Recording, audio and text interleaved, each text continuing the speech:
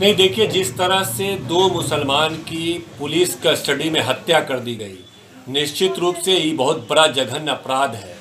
और जिस तरह से बिहार सरकार इस पूरे मामले को लिपापोती करना चाहती है, और कुछ पदाधिकारी को सस्पेंड करके मामला को दबा देना चाहती है, निश्चित रूप से यह निंदनीय है। अब पूरे मामले में बचाने की कोशिश की जा रही है।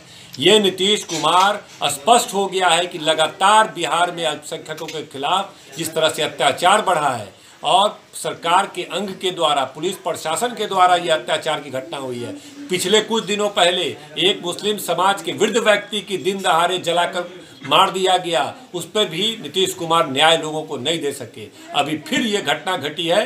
दो लोगों को पुलिस कस्टडी में मार दिया गया। मुझे लगता है कि नीतीश कुमार भारतीय जनता पार्टी के साथ जब से जुड़े हैं तो जिस तरह जोगी उत्तर प्रदेश में मानवाधिकार का उल्लंघन कर रहा है। उसी तरह नीतीश कुमार की भी सरकार बनाना चाहिए।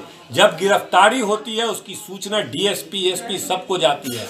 उसके बावजूद उसकी अगर हत्या कर दी गई तो कहीं ना कहीं इसमें तमाम थानेदार से लेकर के डीएसपी, एसपी तक की संलिप्तता है। इसीलिए तमाम पर हत्या का मुकदमा किया जाए। बाद में जाँच बताएगा कि एसपी की संलिप्तता कितनी है, नहीं है, डीएसपी की कितनी है, कौन लोग जिम्मेदार हैं। हत्या का मुकदमा दर्ज किया जाए और पीड़ित परिवार को एक एक करोड़ रुपया दिया जाना चाहिए। दोनों नौजवान के पीड़ित परिवार परिजनों को एक एक करोड़ रुपये दिए जाने की मांग राष्ट्रीय जनता दल करता है।